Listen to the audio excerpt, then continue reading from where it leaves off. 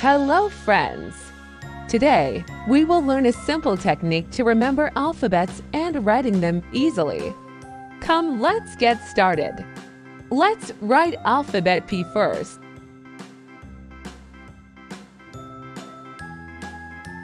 From this P, we can write alphabet B like this.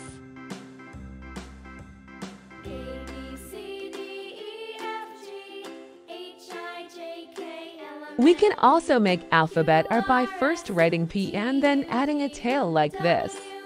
See how easily we have learned three alphabets from just one letter P. Okay, let's move to our next one. Make a half circle to write alphabet C. Next, let's make a full circle to make letter O. And from a full circle, we can make letter Q by adding a tail after drawing the circle. Next, let's see another to similar alphabets. Alphabet E and Alphabet F. Alphabet F has two lines and Alphabet E has three lines. Well, that's easy to remember, right? Come, let's move to our next three alphabets from a single line. First, let's write T and from T we can make alphabet I. Alphabet L is written like this. Note how the line is added from the bottom middle portion towards the right.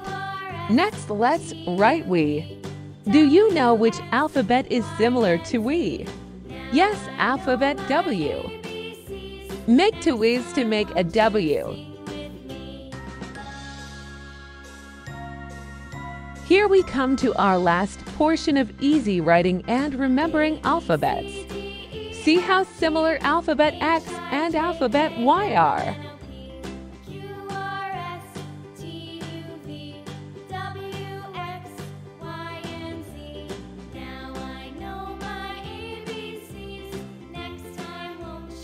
Friends hope this was useful.